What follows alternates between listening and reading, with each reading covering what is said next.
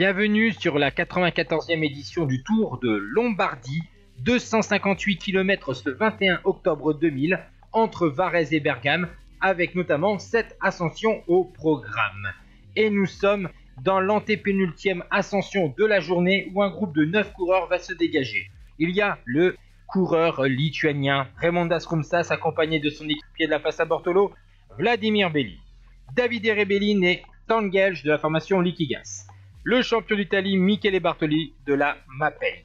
Massimo Codol de la Lampre. Beatsberg le Suisse de la Rabobank. Casagrande Francesco de la Vini Caldirola et un Suédois Niklas Axelsson. D'ailleurs, ce dernier va partir dans l'avant-dernière ascension à plus de 20 km de l'arrivée. C'était une ascension plutôt courte, plutôt roulante, et le Suédois a décidé de creuser l'écart. 32 secondes d'avance sur un groupe de 6, puisque Stangelj et Kodal ont été distancés par Belli, Rumsas, Rebellin, Bartoli, Sberg et Casagrande. L'écart va continuer de s'accroître, puisqu'après il y a une partie descendante, puis une longue partie plate pour rejoindre Bergame.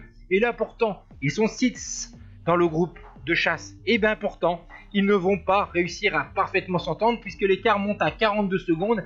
On va même atteindre quasiment les 50 secondes pour atteindre la périphérie de Bergame.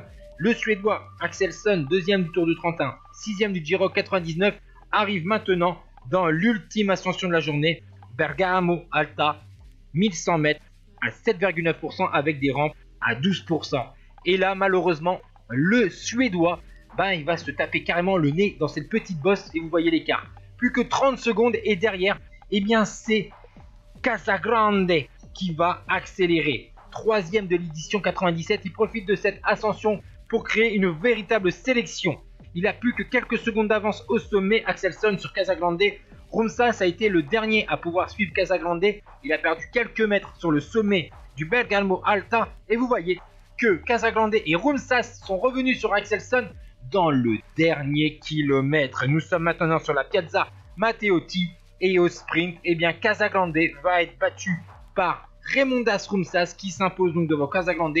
Troisième place pour Axelson, grosse déception pour le Suédois qui était devant jusqu'à 1 km de la ligne d'arrivée. Le top 10, Rumsas, Casagrande, Axelson, Sberg, Bartoli, Rebellin, Belli, Kodol et Stangels qui finit à plus de 2 minutes. Et Paolo Bettini qui règle un petit peloton à 3 minutes 35. Ciao tout le monde